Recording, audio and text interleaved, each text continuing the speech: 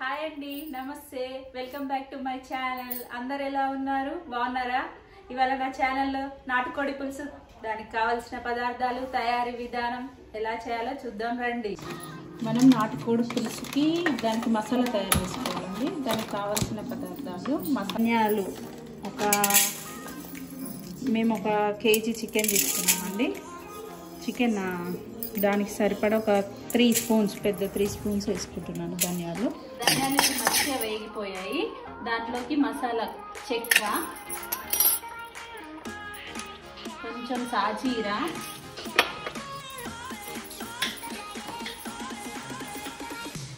అలాగే స్పైసీకి సరిపడంత లవంగాలు.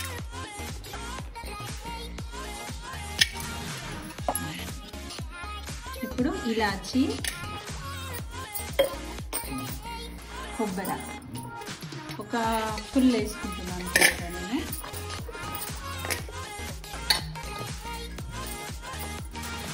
ఇవి కొంచెం లైట్గా ఫ్రై చేసుకోవాలి. కొంచెం ఫ్రై అయితే మిక్సీ పట్టేటప్పుడు మంచిగా మంచిగా మిక్సీ అవుతుంది. కొంచెం లైట్గా వేడైనాక మిక్సీ పట్టుకుంటే బాగుంటుంది. ఆఫ్ చేసుకున్నాం. దీన్ని మిక్సీ జార్లో వేసేసుకొని మిక్సీ పట్టేసుకోవాలి. ఇప్పుడు మిక్సీ పట్టేసుకోవాలి మసాలా ఇది కొంచెం వాటర్ యాడ్ చేసుకొని మెత్తటి పేస్ట్ లాగా చేసుకోవాలి. మరి వాటర్ ఎక్కువ వేసుకోవద్దని కొంచెం చిక్కగా ఉంచుకోవాలి. మనం ఇప్పుడు మసాలా పేస్ట్ తయారు చేసుకున్నామండి ఇలా వస్తుంది పేస్ట్.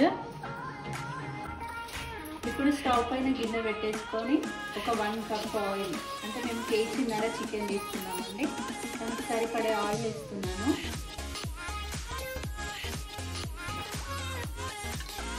సరిపోతుంది. ఎండిన మిరపకాయలు. ఉల్లిపాయలు వేసుకోవాలి. నేను ఒక టూ తీసుకున్నాను స్మాల్ సైజు.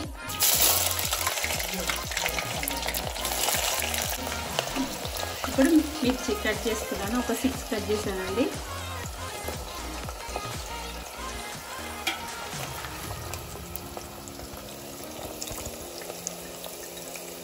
ఇప్పుడు కొంచెం మెంతి అండి. అంటే నేను వన్ అండ్ హాఫ్ కేజీ చికెన్కి ఒక చిన్న స్మాల్ కట్ మెంతి కూడా తీసుకున్నాను. మెంతి ఫ్లేవర్ చేసి చికెన్ కర్రీ బాగుంటుంది. కొంచెం పుదీనా కూడా వేసుకోవాలండి ఫ్లేవర్ కోసం. ఒక ఒక రెండు సరిపోతుంది. ఇప్పుడు ఇది కొంచెం బ్రౌన్ కలర్ రావాలండి. ఆనియన్ మిర్చి పుదీనా మెంతి కూర ఇవన్నీ కొంచెం బ్రౌన్ కలర్ రావాలి. ఫ్లేవర్ బాగుంటుంది. ఇవి మంచిగా బ్రౌన్ కలర్ వచ్చే వరకు మనం ఫ్రెష్గా అల్లం ప్రిపేర్ చేసుకుందామండి అల్లం వెల్లుల్లి వేసేసి అప్పుడే మిక్సీ పట్టేసుకుంటే కర్రీ టేస్ట్ చాలా బాగుంటుంది. అదే ఫ్రిడ్జ్లో పట్టిన అల్లం యూజ్ చేస్తే అంత టేస్టీగా అనిపిస్తుంది. అప్పటికప్పుడు పట్టిన అల్లం వేస్తే బాగుంటుంది టేస్ట్ నేను ఇప్పుడు అల్లం పేస్ట్ ప్రిపేర్ చేసుకొని అల్లం వెల్లుల్లి తగినంత వేసుకొని కొంచెం సాల్ట్ వేసుకొని మిక్సీ పట్టుకోవాలి.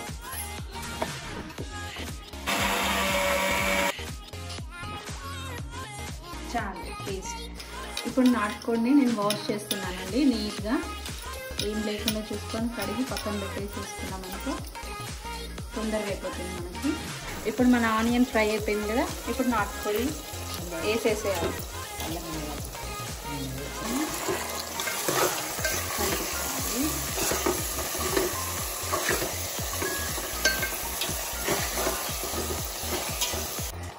మంచిగా కలిపేసేసుకొని కాసేపు మగ్గనివ్వాలి. ఆయిల్లో ఫ్రై కావాలి. మంచిగా. ఇప్పుడు చికెన్ ఎంతవరకు వచ్చిందో చూద్దాం. ఒక టెన్ మినిట్స్ అవుతుంది. టెన్ మినిట్స్ వరకు ఇలా మగ్గిపోయింది మన చికెన్. కోడి కూర. ఇప్పుడు మనం ఫ్రెష్గా అల్లం పేస్ట్ ప్రిపేర్ చేసుకున్నాం కదండి. ఈ అల్లం పేస్ట్ వన్ టూ స్పూన్స్. దగ్గర దగ్గర టూ స్పూన్స్ వేసామండి కొంచెం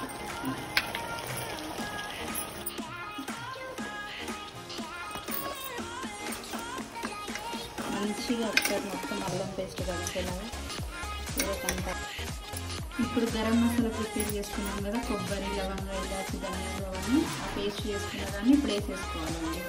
ఒక కప్ వచ్చింది నాకు. ఆ కప్ వేసాక మంచిగా మసాలా వేసాక మంచిగా కలబెట్టుకోవాలి కర్రీకి మొత్తం మసాలా అంతా మంచిగా బాగా కలిపేసుకొని మూత పెట్టుకొని మళ్ళీ ఒకప్పుడు పసుపు వేసుకోవాలండి. ఒక స్పూన్ వేసుకున్నాను పసుపు. ఇప్పుడు తగినంత కారం వేసుకోవాలండి. కొంచెం స్పైసీగా ఉండాలి కాబట్టి కోడి కూర మేమైతే స్పైసీగా చేసుకున్నామని ఎక్కువనే వేస్తున్నాను కారం. మీకు తగినంత మీరు వేసుకోండి. ఒక టమాటో కట్ చేసుకోవాలండి. ఒక టమాటో మాత్రమే వేస్తున్నాను నేను. మరీ స్వీట్ ఉంటుంది కాబట్టి టమాటో ఒకటి వేసుకున్నాను. దాంట్లోనే కొంచెం కొత్తిమీర.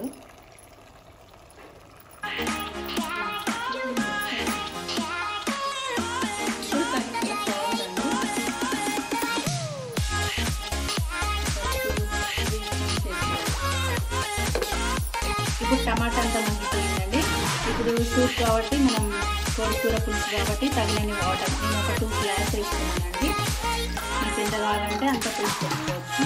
ఒకవేళ గ్రేవీ లాగా కావాలి అనుకుంటే మనకు కొంచెమే పెట్టేసి ఒక కొద్ది సాపు చేసుకోవచ్చు కానీ ఇది పులుసు అయితేనే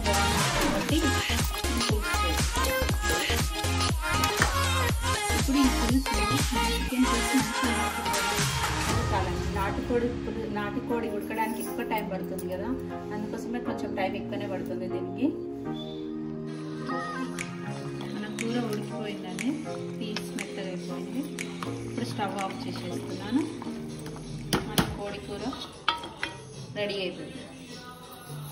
చూసారు కదండి మన నాటు కోడి కూర పులుసు రెడీ అయిపోయింది. Thanks for watching this video please like share comment subscribe